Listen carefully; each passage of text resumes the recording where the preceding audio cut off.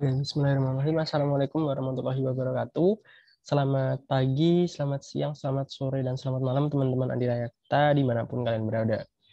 Nah, pada video kali ini kita kembali pada video pembelajaran Adirayakta di semester kelima, di semester yang baru, dengan mata kuliah yang baru. Uh, tapi sebelum itu saya mau mengucapkan selamat kepada teman-teman karena sudah bisa berjuang selama dua tahun di stand dan semoga tinggal satu tahun lagi kita bisa ketemu di Wisuda Akbar tahun 2022. Eh, kenalin nama aku Syahlan dari kelas 5 10 dan kali ini kita akan membahas latihan soal mata kuliah AKL 1 dan untuk soal yang pertama ini saya ambil dari buku AKL karya Bu Uin Indrawati yang mungkin teman-teman sudah dapat juga. Untuk soal yang pertama yaitu terdapat neraca P dan S pada 31 Desember 2015 tampak sebagai berikut. Nah, di sini soalnya adalah pada tanggal 2 Januari 2016 P menerbitkan 30 lembar sahamnya dengan nilai wajar atau fair value-nya 20 dolar per lembar untuk membeli aset neto S. Kemudian S dibubarkan dan nilai tercatat aset neto S sama dengan nilai wajarnya, kecuali karena aset sebesar 100.000. Jadi di neraca S ini semuanya nantinya sama kecuali karena aset yang berubah menjadi 100.000 sesuai nilai wajarnya. Kemudian P membayar biaya pendaftaran dan penerbitan saham 15.000 dolar serta biaya kombinasi bisnis 25.000 dolar. Nah, soal yang pertama adalah buatlah jurnal untuk P uh, untuk mencatat transaksi kombinasi bisnisnya. Nah, sebelum itu kita catat dulu nih kalimat-kalimat di sini kita catat dulu supaya lebih mudah untuk kita pahami. Pada tanggal 2 Januari tadi, P menerbitkan 30.000 lembar saham dengan fair value per lembarnya adalah 20. Sehingga totalnya, total pada saat saham tersebut diterbitkan adalah 16 eh sorry 600.000 dolar. Nah, 600.000 dolar ini tidak tidak masuk ke akun share capital semua, tapi ada share premium. Karena di sini harganya fair value-nya 20 dolar, tapi di sini share capitalnya cuma 10 dolar. Jadi ada premiumnya sebesar 300 atau sebesar 30.000 lembar dikalikan dengan 20 min 10. Seperti itu. Nah, 300 ini premium, sedangkan nanti 300-nya masuk ke share capital ordinary. Kemudian nilai tercatat sama dengan fair value kecuali karena sorry, ini karena aset, bukan karena Nah, karena aset sebesar 100.000 dolar. Kemudian biaya pendaftaran pendaftaran dan penerbitan sebesar 15 serta biaya kombinasi bisnis sebesar 25. Nah, untuk uh, biaya pendaftar untuk biaya-biaya yang dikeluarkan dalam rangka kombinasi bisnis itu dibedakan dari yang pertama adalah biaya-biaya yang berkaitan dengan penerbitan saham. Nah, itu nanti akan mengurangi premiumnya atau ketika saham tersebut tidak memiliki share premium maka dikurangkan pada return earnings. Kemudian untuk biaya-biaya di luar penerbitan saham, pendaftaran saham, akuntan untuk menerbitkan saham, pokoknya yang bersifat umum itu bisa masuk ke expense. Artinya nanti diakui sebagai investment expense pada saat penjurnalan.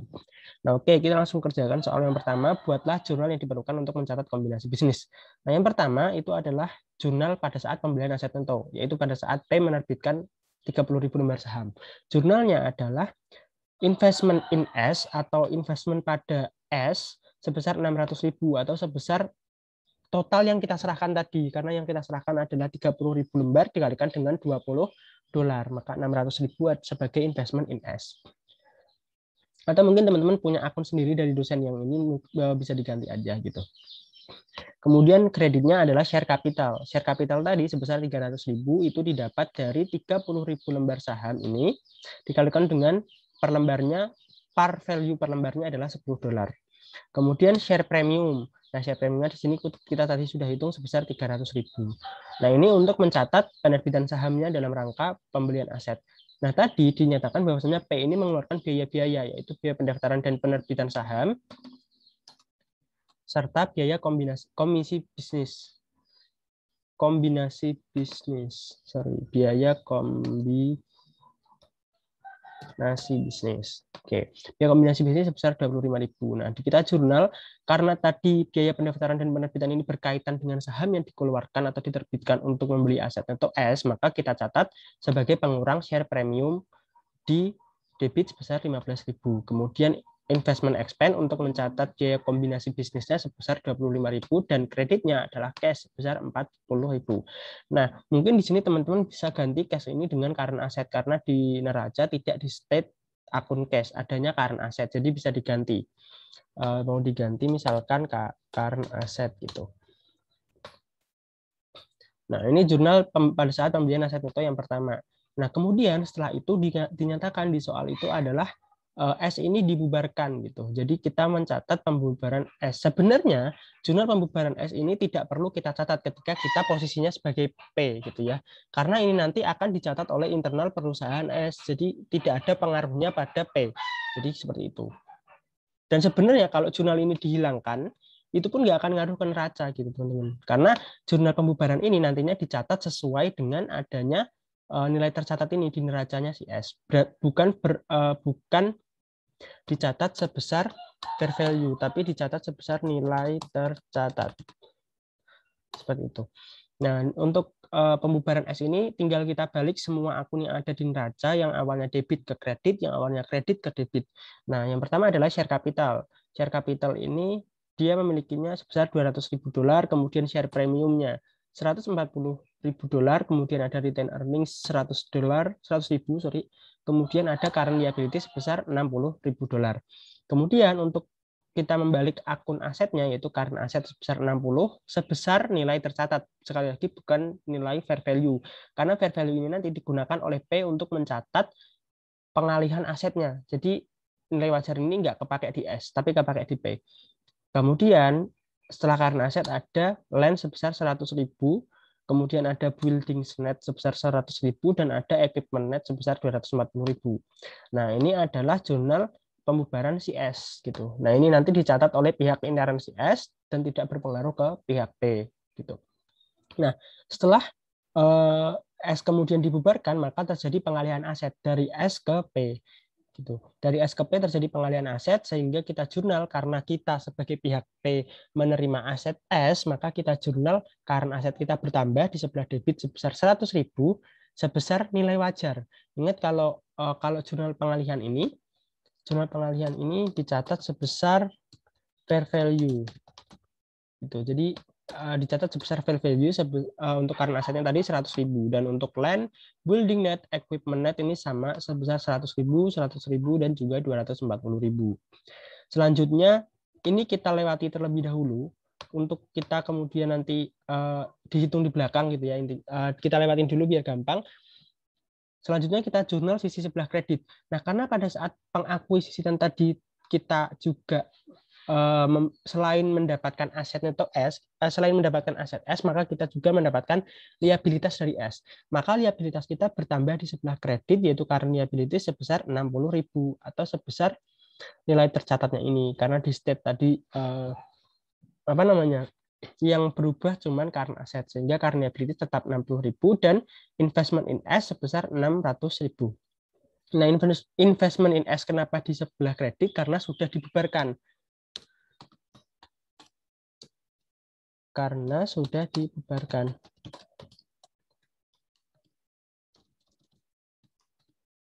Sehingga eh, ketika eh, ketika kita jadi yang diawalin tadi kita kan berinvestasi di S, ibarat kata berinvestasi di S besar 600 ribu, tapi ternyata S ini dibubarkan, maka investment kita berkurang juga, hilang di S gitu, 600 ribu.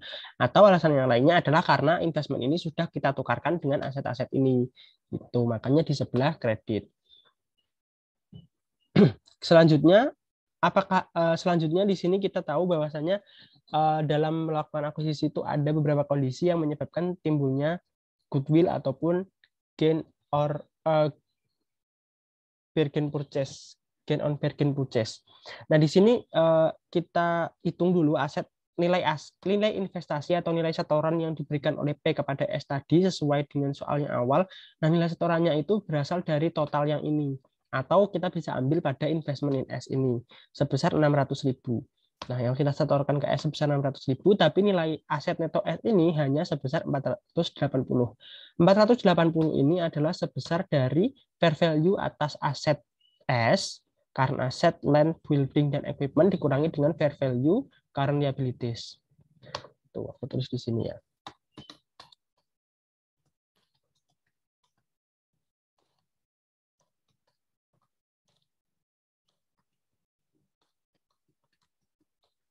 Nah, kayak gini.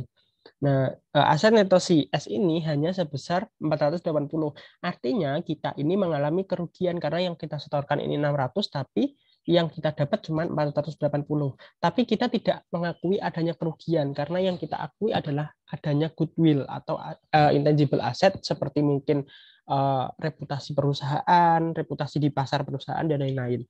Sehingga kita akui 200 120 ini sebagai kerugian ini kita akui sebagai goodwill. Goodwill ini intangible asset sehingga bertambah di sebelah debit sebesar 120. Gitu. Nah, ini jurnal pada saat pengalihan aset S kepada P. Selanjutnya adalah soal yang kedua, kita disuruh membuat neraca P sesaat setelah kombinasi bisnis S. Nah, nah di sini tadi diketahui bahwasannya aset, uh, sorry, diketahui bahwasannya neraca P ini terdiri dari current asetnya 130, land 50, building net 300, equipment net 220 dan sebelumnya pada saat 31 Desember 2015 ini dia tidak memiliki goodwill sehingga goodwillnya nol. Kemudian current liabilities-nya 50, kemudian share capitalnya 500, share premiumnya 50 dan uh, return earnings-nya 100.000. Nah, terus kemudian ada perubahan-perubahan, perubahan dalam rangka tadi pembelian aset neto, kemudian pada saat pengalihan aset. Perubahannya apa saja dari current aset yaitu 600, 6, sebesar 60.000 didapat dari kreditnya tadi pada saat kita membayar biaya-biaya uh, dalam rangka uh, kombinasi bisnis sebesar 40 ini kemudian ditambah dengan pertambahan current aset 100.000. Kemudian land bertambah 100.000 dari saat jurnal pengalihan aset, kemudian building 100.000 dari jurnal pengalihan aset juga, dan equipment net sebesar 240 ini bertambah dari jurnal pengalihan aset. Selanjutnya ada goodwill 120 tadi pada saat jurnal pengalihan aset ini kita ada selisih yang diakui sebagai goodwill, maka itu dicatat pada saat uh, menyusun neraca. Sehingga di uh, kemudian untuk yang liabilities dan equity terdapat perubahan 60.000 pada current liabilities bertambah 60.000 yaitu pada saat jurnal pengalihan aset kemudian share kapitalnya 300. Kenapa share kapitalnya 300 tidak langsung 600 karena tadi 300-nya ini adalah sebesar par value-nya sebesar 10 kalikan dengan 30.000 eh, lembar gitu atau dari saat jurnal pembelian ini 300.000. Kemudian share premiumnya juga adalah 300.000 aslinya 300.000 di sini 300 tapi ternyata tadi ada uh, pada saat pembelian aset neto terdapat biaya-biaya yang dikeluarkan dalam rangka pendaftaran dan penerbitan saham sehingga mengurangi share premium. Sehingga perubahan share premium hanya sebesar 285.000 kemudian return earnings. Return earnings itu berubah karena adanya keuntungan ataupun kerugian uh, keuntungan ataupun Eh, beban dalam rangka kombinasi bisnis. Sehingga di sini didapat tadi ada investment expense sebesar 25.000 dan ini mengurangi return earnings. Nah, pada uh, selanjutnya yang terakhir adalah gabungannya atau akumulasi dari saldo dan juga perubahan. Untuk current asset 190, hasil akumulasinya, kemudian land 150, building net uh, eh, 400, equipment net 460, goodwill 120 sehingga total asetnya adalah 1.320.000. Untuk sisi uh, liabilities dan juga equity, karena liabilitiesnya bertambah 60 sehingga menjadi 110, share kapitalnya menjadi 80 800 ribu, share premiumnya menjadi 335 dan share, uh, return earnings-nya ber, uh, berkurang menjadi 75 ribu dolar. Sehingga total liabilities dan equity-nya juga sama 1320. Uh, total ini harus sama ya karena neraca itu harus balance gitu. Jadi yang awal ini saldonya 700, kemudian uh, kemudian ada perubahan-perubahan dan saldo, saldo gabungannya ini adalah 1.320 sama. Nah, itu untuk soal yang pertama. Selanjutnya adalah soal yang kedua. Nah, soal yang kedua ini saya masih ambil dari buku Bu Indrawati untuk soal yang kedua. Pada soal yang kedua dikatakan bahwasanya pada saat, pada tanggal 2 Januari 2016 P membeli aset atau S dengan menerbitkan 100.000 lembar sahamnya dengan nilai wajar 20 dan menyerahkan 500.000 uh, ribu tunai atau cash. P membayar biaya pendaftaran dan penerbitan saham 50 dan serta biaya kombinasi bisnis sebesar 100.000. Nah, ini kita catat terlebih dahulu yaitu pada tanggal 2 Januari 2016 si P ini menerbitkan saham sebesar 100 uh, sebanyak 100.000 lembar dengan fair value-nya sebesar um, 20 dolar per lembar. Kemudian didapat, didapatlah total yang uh, total dari saham yang diserahkan kepada PT eh, S ini adalah sebesar 2 juta atau sebesar 100 ribu lembar dikalikan dengan 20 per lembarnya. tapi 2 juta ini terdapat premium atau tidak semuanya masuk ke share capital. Karena share capitalnya di sini di neraca dikatakan bahwa cuma 10 dolar par. Nilai parnya cuma 10 dolar per lembar. Seperti itu. Kemudian selain menerbitkan saham ada juga setoran tunai atau cash sebesar 500 ribu seperti ini. Kemudian uh, lanjut ke soalnya adalah sesaat sebelum kombinasi bisnis dilakukan neraca kedua perusahaan tampak sebagai berikut. Ada P pada nilai bukunya atau book value, S pada book value dan S pada fair value. Kemudian diminta yaitu buat jurnal P untuk melakukan kombinasi bisnis dan yang kedua adalah neraca sama seperti yang tadi. Nah, yang pertama adalah kita buat jurnal pembelian aset neto. Sebenarnya pembelian aset neto ini sama seperti yang tadi yaitu investment in S atau kita berinvestasi ke PTS, kemudian share capital. Share capitalnya ini sebesar 1 juta atau sebesar 100 ribu lembar dikalikan dengan 10 dolar per, uh, per lembar. Kemudian share premiumnya sebesar 1 juta juga hasil dari uh, perhitungan yang tadi atau bisa dihitung 100 ribu lembar dikalikan dengan 20 min 10. Kemudian terdapat cash karena kita tadi selain menerbitkan saham juga mengeluarkan cash, maka kreditnya ditambahi cash sebesar 500 dolar. Sehingga investment in S nilainya adalah sebesar 2.500 atau hasil akumulasi dari saham dan juga cash. Nah, tadi dikatakan bahwasanya dia juga melakukan pengeluaran sorry teman-teman. Dia juga melakukan pengeluaran dalam rangka penerbitan saham sebesar 50 dan juga kombinasi bisnis sebesar 100. Sehingga yang pengeluaran-pengeluaran yang dalam rangka penerbitan saham ini dicatat sebagai pengurang share premium 50.000 dan yang dalam rangka kombinasi bisnis lainnya dicatat sebagai expense atau investment expense sebesar 100.000. Sehingga terdapat pengeluaran kas lagi sebesar 150.000. Nah, itu jurnal pada saat pembelian aset neto. Jurnal yang kedua adalah jurnal uh, pembubaran S. Nah, di sini di soal ini sebenarnya tidak disuruh kita untuk membuat uh, jurnal pembubaran S dan juga tidak ada kalimat yang menyatakan S dibubarkan, tapi uh, kita jurnal tidak apa-apa ya. Gitu. Nah, untuk menjurnal pembubaran S sama seperti yang tadi, kita tinggal balik akun yang awalnya kredit jadi debit dan yang debit jadi kredit sesuai dengan kolom S at BV atau book value gitu. Share kapitalnya satu juta atau ini tadi dalam ribuan ya. Oh iya dalam ribuan. Satu juta kemudian share premiumnya 600, return earningsnya 400, accounts payable 300 dan mortgage payable-nya 700. Cash-nya 240, account receivable net-nya 360, inventory 3 ah sorry, notes receivable 300, inventory 420, kemudian other current asset 180, land 100, building 200 dan sorry building 600 dan equipment netnya 800. Nah, ini jurnal pembubaran S. Kenapa jurnal pembubaran S tidak perlu dibuat tidak apa-apa? Karena dia tidak berpengaruh pada si P, dia tidak berpengaruh pada neracanya si P sehingga kalau sebenarnya nggak diminta di soal sebenarnya nggak nggak di jurnal nggak apa-apa sih. Tapi mungkin untuk kelengkapan nanti pas waktu ujian teman-teman jurnal aja nggak apa-apa. Selanjutnya adalah jurnal pengalihan aset dari S ke P. Nah, ketika jurnal pengalihan aset maka Eh, si P ini mendapatkan aset dan juga eh, mendapatkan utangnya si S. Maka asetnya bertambah dari cash sampai equipment net. Selanjutnya adalah eh, kreditnya ada utang dan juga investment in S.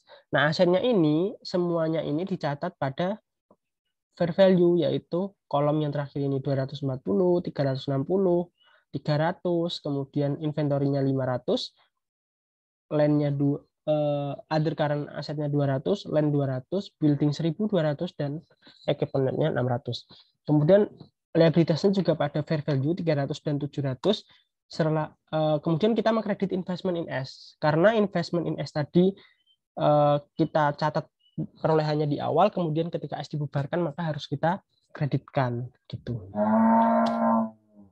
Kemudian terdapat selisih teman-teman terdapat selisih antara Eh, debit dan juga kredit antara debit ini dan kreditnya liabilitas yang ini. Nah, untuk mengetahui selisih itu kita bisa pakai perhitungan sama yang eh, kita gunakan untuk menghitung goodwill tadi yaitu nilai investasi P atau nilai setoran P ini adalah sebesar dua setengah juta terdiri dari saham eh, totalnya 2 juta 2 juta yang terdiri dari kapital dan premium kemudian cashnya 500 tapi aset neto CS ini sebesar 2.600 atau kita ibarat kata untung gitu. Cuman ngasih dua setengah juta tapi dapat 2,6 juta. Nah, uh, selisihnya ini kita akui sebagai gain on bargain purchase karena kita mendapatkan keuntungan. 2,6 ini didapat dari fair value aset S dikurangi dengan fair value liabilitas S. Sehingga kita kredit gain on bargain purchase sebesar 100.000. Selanjutnya kita menyusun neraca. Neraca si P setelah terjadinya kombinasi dari S. Nah, untuk mencatat si cash-nya tadi, terdapat uh, untuk kolom saldo ini dicatat uh, dicatat menurut P pada book value atau dicatat pada neraca P sesuai dengan book value-nya. Kemudian terdapat perubahan-perubahan dari ketiga transaksi tadi atau ketiga jurnal yang tadi, yaitu cash sebesar 410. Ini didapat dari tadi pada saat kita awal uh, mengeluarkan 500 untuk uh, untuk membeli asetnya, kemudian mengeluarkan 150 untuk biaya-biaya dan juga kita mendapatkan aset dalam pengalihannya ini sebesar 240. Kemudian akun receivable kita bertambah 360 karena kita mendapatkan aset dari S, kemudian notes receivable-nya bertambah 300, in inventory-nya 500, ke other current asset-nya 200, land-nya 200, building-nya 102 1,2 juta, equipment net-nya 600. Nah, selanjutnya untuk sisi liabilitas dan ekuitas, yaitu akun payable-nya bertambah 300 atau dari jurnal pengalihan aset ini. Kemudian mortgage payable-nya bertambah 700 dan share capital-nya ini bertambah 1 juta dari yang awal tadi waktu kita menerbitkan saham. Bertambah 1 juta di share capital dan share premiumnya 950. Dari penambahan eh, ini share premium 1 juta dikurangi dengan 50 sebagai biaya penerbitan saham. Selanjutnya, pada sisi return earnings. Return earnings-nya ini dia tidak mengalami perubahan atau perubahannya ini jika diakumulasikan sama nilainya yaitu nol. Nol dari uh, biaya yang diterbitkan dalam rangka kombinasi bisnis lainnya sebesar 100.000 atau sebagai beban kemudian ditambah dengan gain on bargain purchase sebesar 100.000 sehingga perubahannya sama dengan nol. Kemudian kita uh, akumulasikan untuk neraca gabungannya yaitu dengan total aset 32950 dan total sorry ini total liability and equity sebesar 32950. Nah, seperti itu. Nah, mungkin eh, teman-teman uh, kalau ada yang kurang jelas nanti suaranya karena tadi ada gangguan dari tetangga sapi tetangga gitu ya. Nanti bisa cek filenya ini di drive yang akan diupload juga. Oke, selanjutnya kita masuk ke soal berikutnya.